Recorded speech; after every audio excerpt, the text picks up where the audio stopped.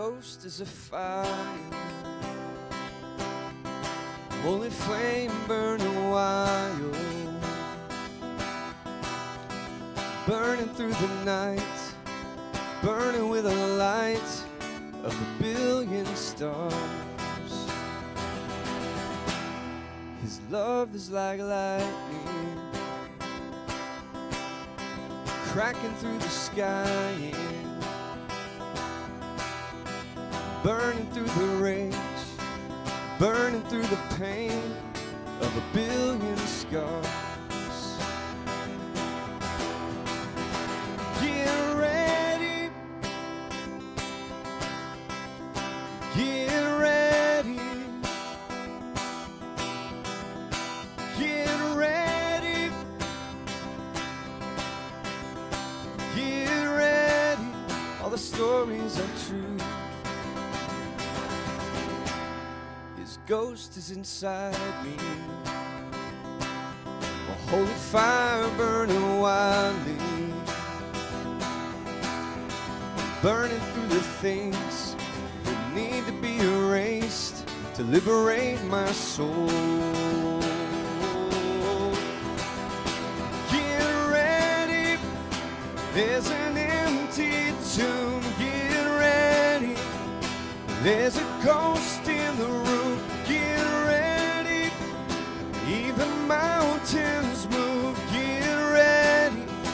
stories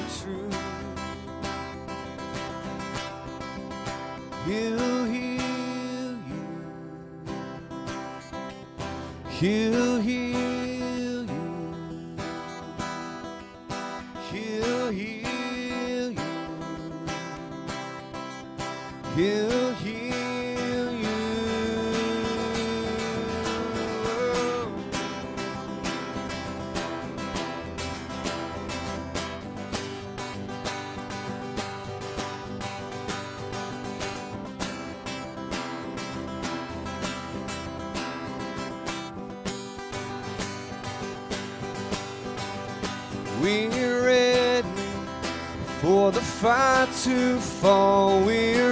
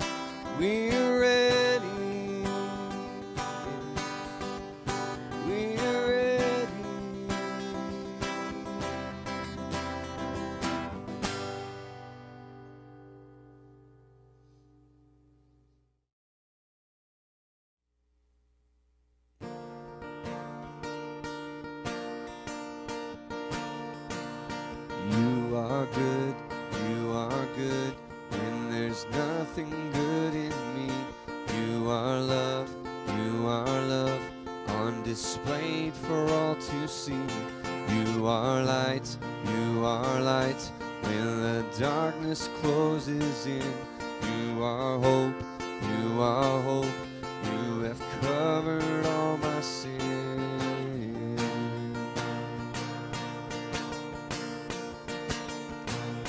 You are peace, you are peace when my fear is crippling. You are true, you are true even in my wandering. You are joy, you are joy, you're the reason that I sing. You are life, you are life, in you death has lost its sting.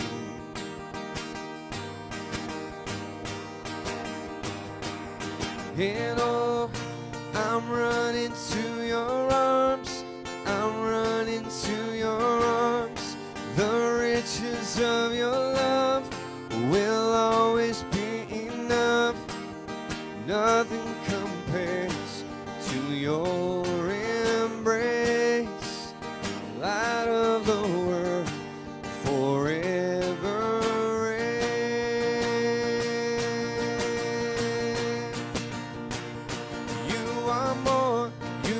you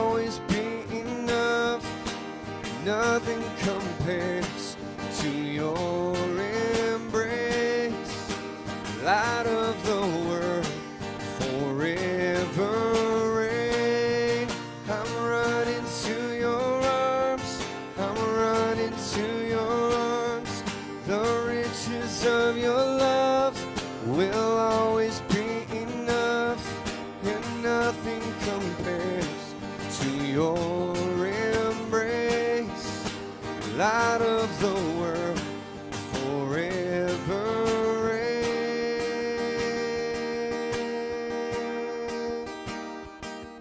And oh, I'm running to your arms. I'm running to your arms. The riches of your love will always be enough. Nothing compares to your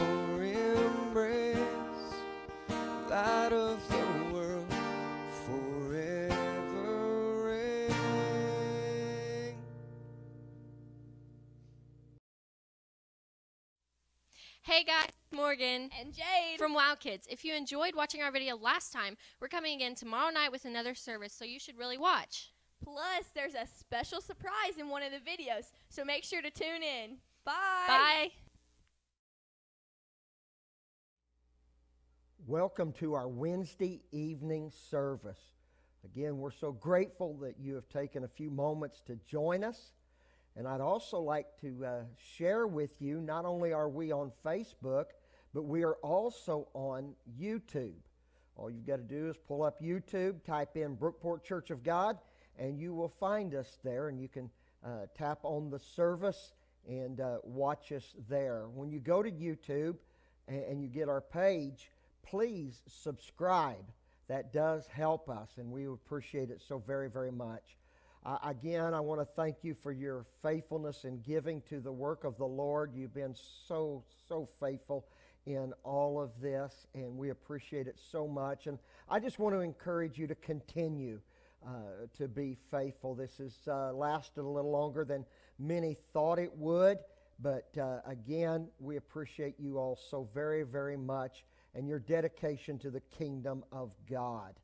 I'm ready to get into the Word this evening, and uh, I want you to go ahead and take your Bible or uh, pull it up on your device, Psalm 27. We're going to be looking at the, the thought tonight confidence to conquer our fears. Now, I got to thinking about that word fear or fears, and, and it took me back a number of years, and I'll be honest with you, it's more years than I'd realized, but back in the late 1889, ni- early 1990s, uh, there was a, uh, a slogan or a motto that became uh, famous by becoming a phrase on t shirts. Two word slogan simply, no fear. Now, these shirts are still available today. You can order them online. Uh, I just found that fascinating that, that it was back in, in, the late 80s, early 90s when this really seemed to get traction. And, and what it did is it, it became a representation of a way of life that says, I won't fear anything in life. Now, that sounds good when you say it, no fear. Uh, it looks good on a t shirt, no fear. But really? I mean, no fear? At first glance, we have a tendency to question the validity of such a statement as becoming a way of life. Now, I, I believe what will help clarify that is this. I don't believe the inference of this motto on a t shirt that they ever uh, meant it to be uh, to never have or experience or cause a fear.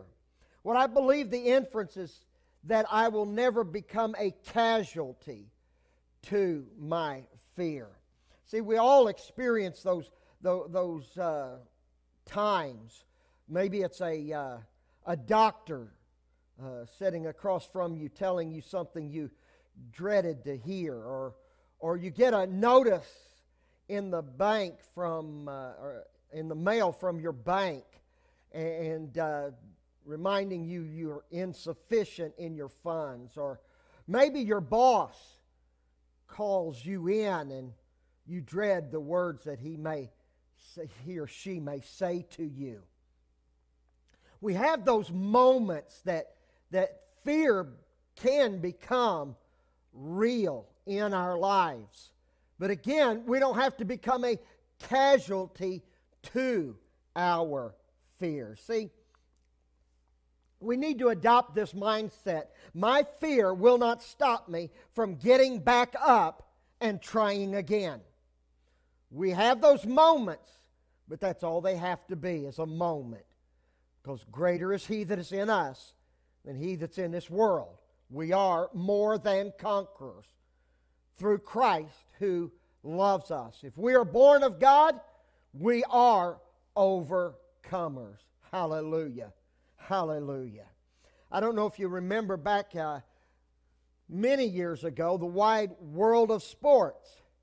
Jim McKay was the sports host, and uh, they would begin each segment of Wide World of Sports with a video clip and the words, the uh, uh thrill of victory and the agony of defeat. Well, Vinko Bogataj, he was a competitive ski jumper from Yugoslavia, now known as Slovenia, back in March 7th, 1970, became the unintentional face whenever they would say the words, the agony of defeat, they would show the video clip of him going down the ski jump getting off balance and crashing.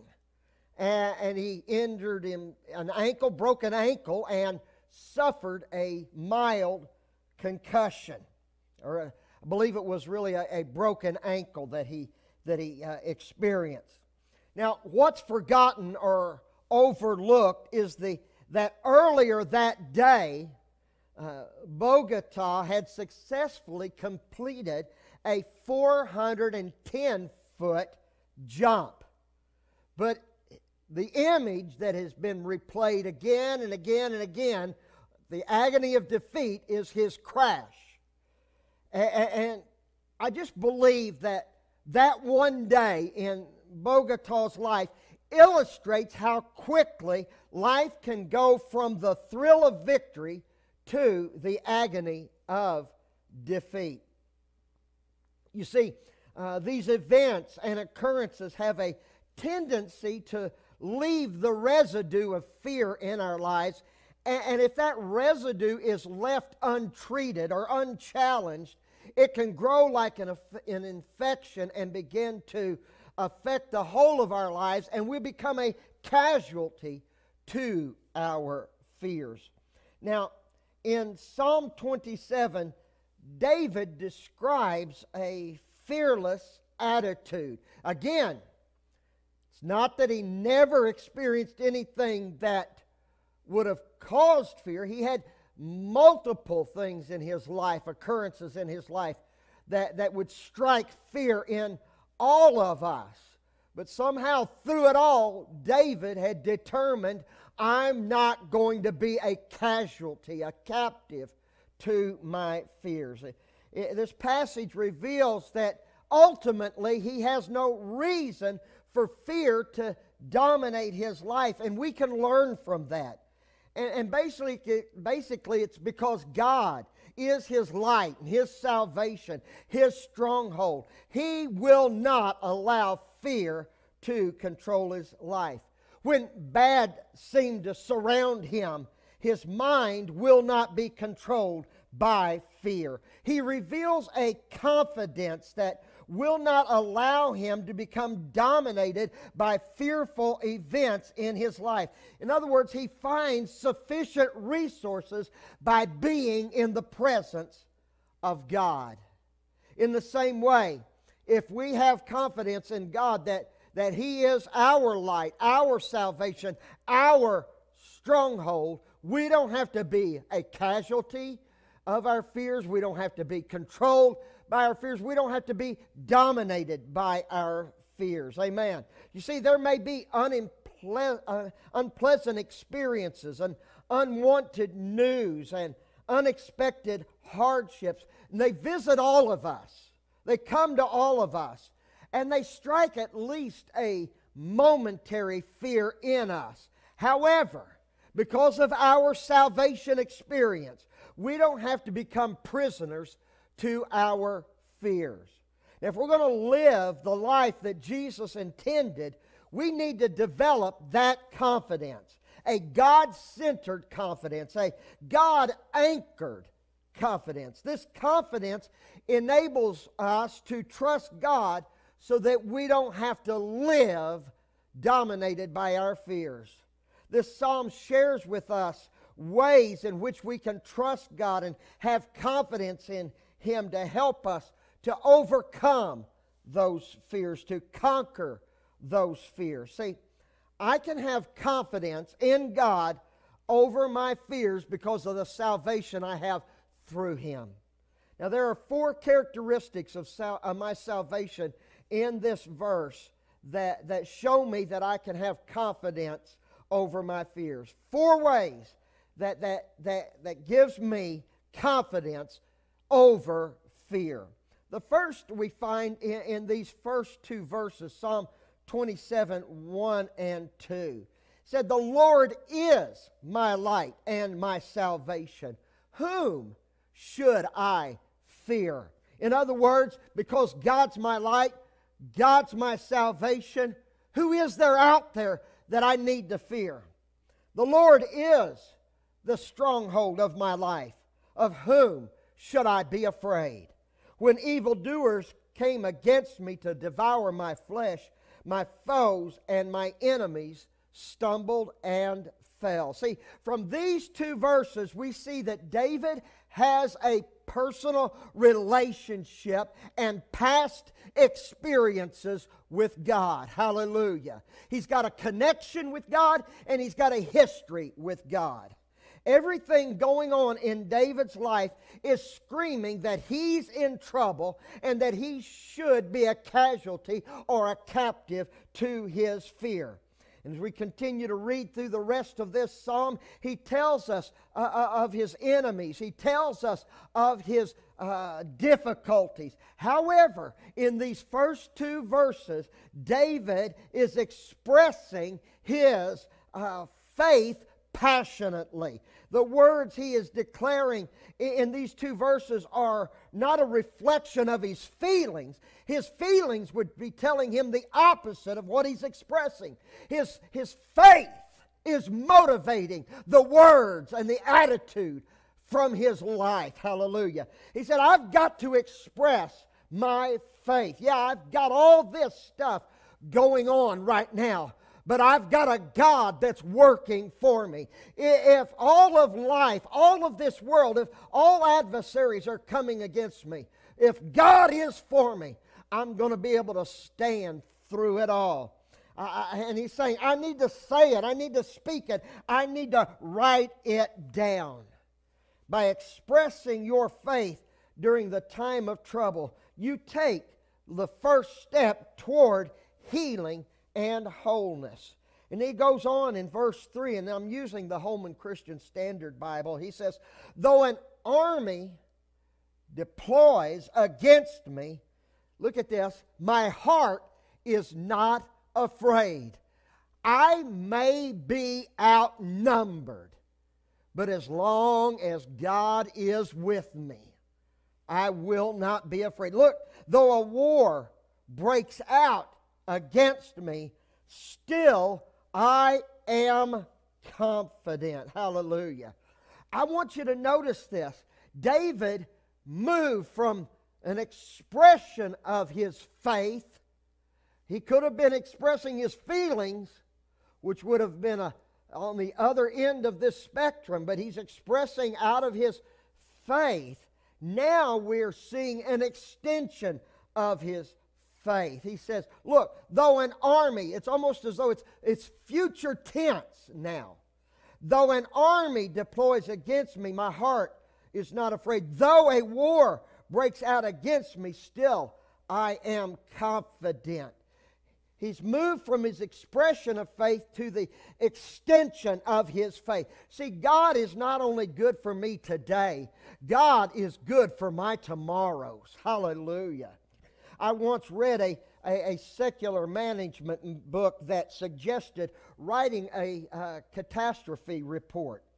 In, in, in the midst of your trouble, sit down uh, on a legal pad and uh, begin to imagine the worst result you could have from the trouble you're experiencing. Write it in detail. When you read it aloud, you begin to realize this problem probably won't get that bad and you start feeling better. I, I, there's something to that. Listen, sometimes we spend so much time talking about what's wrong in our lives, we, we replay the worst images in our mind, and then we begin to play out the worst case scenarios. Our minds can go to some pretty dark places, and, and we begin to imagine things that most likely will never hap- happen and we don't take enough time to express our faith and say, Lord, even if this situation, this bad situation gets worse, you're still there for me. And I have this confidence. You are the God of the extremes in my life. Praise the Lord. You are the God of the extremes in my life. See, we, we need to have an expression of our faith, and we need to have an, an extension of our faith. And, and then there needs to be this, this experience that we reveal. I said in Psalm 27, verses 4 through 5, he said, I've asked one thing from the Lord. It is what I desire to dwell in the house of the Lord all the days of my life, gazing on the beauty of the Lord, seeking Him in his temple, for he will conceal me. I love that. He will conceal me in his shelter in the day of adversity. I, have got this, this adverse situation I'm walking through, but yet in the midst of that, I'm concealed in the presence of God. It goes on and it says, He will hide me under the cover of His tent. He will set me high on a rock. Isn't that wonderful? To me, there, there's such uh, value in that passage of Scripture. He, he, he has now whittled his life down to one thing. He says, One thing I have desired of the Lord, and that's what I'm going to seek after. When problems come to many people, the first thing they so often do is quit the church. They quit coming to church. They quit being a part of it. And the thing of it is, if they just keep coming, That's where they would find comfort. Now, we may not be able to assemble like we normally would, but we're still able to connect as, as a body of believers. And it is in this coming together this digital way, this virtual way of coming together, that we are still connecting and there's just something takes place when the body of Christ comes together and begins to worship God together. It can take place in no other way than, than whenever we are brothers and sisters connected in a worship opportunity. We just encourage one another. We feed off of that. Amen. See, if we allow trouble to come between us and God, it's going to move us away from Him. But if we refuse to allow trouble to separate us, it will stay on the outside and, and be a force that will push us even closer to God. See, it all depends on where you let the trouble come into your life. And then I want you to understand today enjoy your faith. Enjoy your faith. Psalm 27, verse 6, he says, Then my head will be high above my enemies. Remember, you're going to set me up on that rock. That's what he said in the previous verse. You're going to stand me up on that rock. Then my head will be high above my enemies around me. I will offer sacrifices in his tent, listen, with shouts of joy. I will sing and make music to the Lord. Listen, not only do we need uh, to experience our faith, we need to enjoy our faith. Praise is not just worship. I'm telling you, praise is also warfare. When we feel uh, least like worshiping God, that's when we need to worship Him the most. Worship makes God big in your heart, in your life. Worship magnifies God. It puts an awareness of God, of who God is in your heart, so you begin to sense and appreciate the greatness of Almighty God. Somebody right now just needs to begin to praise God. Your problems have been magnified, your, your problems are, are overshadowing you, your problems ha- have seemingly shut you off and shut you down. But I'm here to tell you if you just right now begin to enjoy your your faith and begin to praise and worship God, you'll recall to mind He is God Almighty, and the perspective of your life will change. And instead of looking down, you begin to look up and know the joy of the Lord is your strength. Somebody give the Lord a praise right now. Wherever you're at, begin to praise and worship God. You see, when you measure your trouble against others, we oftentimes get depressed. But when I measure my trouble against the greatness and the magnificence of God, I understand I am more than a conqueror. No wonder our heads get lifted up. Isn't that amazing feeling? You're so weak and tired, your head begins to droop, fall down then all of a sudden you begin to praise God. You're made aware of the presence of God, and it's almost as though you feel the invisible hand of God reaching and beginning to lift your head up supernaturally. Oh, hallelujah. David tells us here that he is the lifter of our head. Hallelujah. Hallelujah. Hallelujah. I, I just got a few more moments with you, and I just want to share with you, and I want to remind you when you praise God, it builds your confidence in God. When you pray to God, it builds your confidence in God. See, true prayer responds to God's call. In Psalm 27, verses 7 through 8, he said, Lord, hear my voice when I call. Be gracious to me and answer me. My heart says this is about you. You are to seek my face. Lord, I will seek your face. Hallelujah. That's what it is. In the midst of trouble, he heard God say, Seek my face, David. David obeyed. In every difficult situation, there's always a time in the midst when the voice of God speaks to us and says, It's time. It's time, seek my face. When it happens, you respond. True prayer in time of trouble is really a response to God. True prayer relies on God's provision. Don't hide your face from me. He said in verse 9, Do not turn your servant away in anger. You've been my helper. Do not leave me or abandon me, God of my salvation. If my father and my mother abandon me, the Lord cares for me. Hallelujah. He's saying even if his mom and dad kicked him out, disowned him, God's never going to do that. Hallelujah. God is our heavenly Father.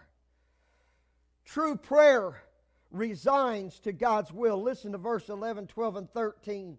Because of my adversaries, show me your way, Lord. Lead me on a level path. Do not give me over to the will of my foes, for false witnesses rise up against me, breathing violence. I am certain that I will see the Lord's goodness in the land of the living. Hallelujah. Here is a humble submission to God's will. See, sometimes we don't see God's will because we're not looking for it. Uh, you know, and I, I really believe this keep a prayer journal. This journal will help you on your journey with God.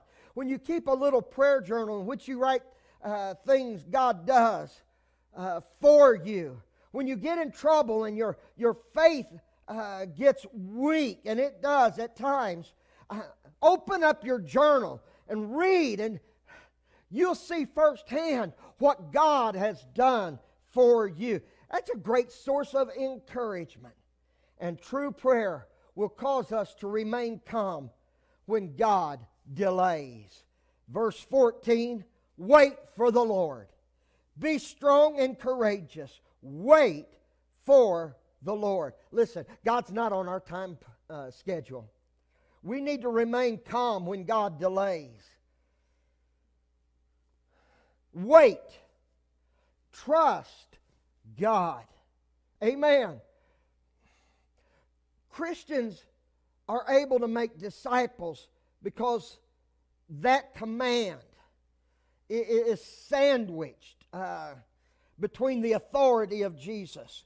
We can pray and see God work in our lives, but in between, we need to learn to wait for Him. See, when trouble comes, there needs to be an expression, an extension, an experiment, experience, and an, an enjoyment of our faith. And when you pray in times of trouble, response to God, rely on God, resign your will to God, and remain calm. His help is on the way. See, all of these principles are, are available to, to you just like they were to David. You can write down your own psalm and God will hear you. Uh, with the voice of confidence, it sounds like a sense of boldness in prayer. I want you to listen to this. I'm going to close with this. Ruth Bell Graham vividly remembers September, or vividly remembered September 2nd, 1933. She wrote this down, shared this story. She was 13. Her father was a missionary surgeon in uh, China.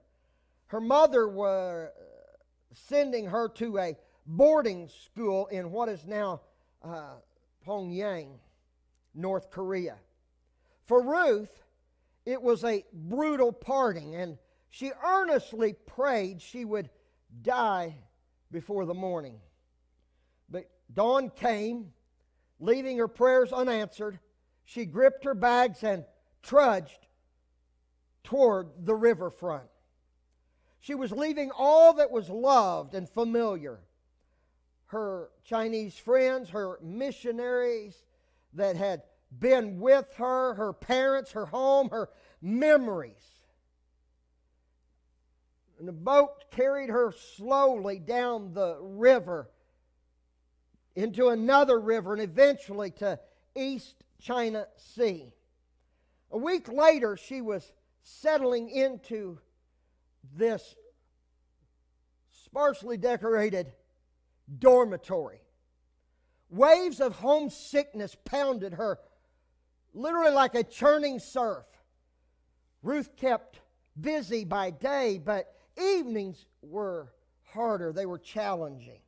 She would bury her head in her pillow and cry herself to sleep. Night after night, week after week, she fell ill. And in the infirmary, she read through the Psalms, finding comfort in Psalm 27:10. When my father and my mother forsake me, the Lord will take care of me. The hurt and fear and doubt persisted. Finally, in desperation, she went to her sister Rosa, also enrolled in the same school. I don't know what to tell you, Rosa replied matter of factly, unless you take some verse and put your name in it and see if that helps. Ruth picked up her Bible, turned to a favorite chapter in Isaiah 53, and put her name in it. But he was wounded for Ruth's transgressions. By his stripes, Ruth is healed. All of a sudden, faith began to, to rise, and her heart seemed to leap within. And she said, it was as though a, an emotional healing began to take place. Just such an awareness, an overwhelming awareness of God's presence with me. And I began to understand I'm going to be all right. God's with me. God's got me covered. God's going to take care of me. God's not going to leave me nor forsake me. I'm going to be okay. And I just want to leave that with someone. And maybe it's Isaiah uh, 53. Maybe it's Psalm 27. Maybe it's Psalm 23. Whatever it is, find a verse, put your name in it, and begin to make that your personal verse. I'm telling you, it will begin to make a difference in your life. There is ability today to overcome our fears. We experience fears, but we don't have to become casualties and captives to our fears. Hallelujah. Hallelujah. I, I pray again today this word has been an encouragement to someone listening. I want to pray with you. I want to pray for you as we close out this service today. And before we do, I want to thank you again for joining us and being a part of this service. Uh, uh, continue to reach out to one another. Uh, bring words of encouragement to one another. Pray for one another. Uh, we continue to see uh, the body of Christ strengthened even in this season of adversity. Praise the name of the Lord. Praise God. We worship you today, God. Heavenly Father, again, I, I thank you for each and every person that has tuned in and is watching this this evening. I pray, oh God, that something in this message has just spoken to their hearts, their minds, their souls, oh God, and has encouraged them, uplifted them, helped them in some way, God. I, I pray that in Jesus' name.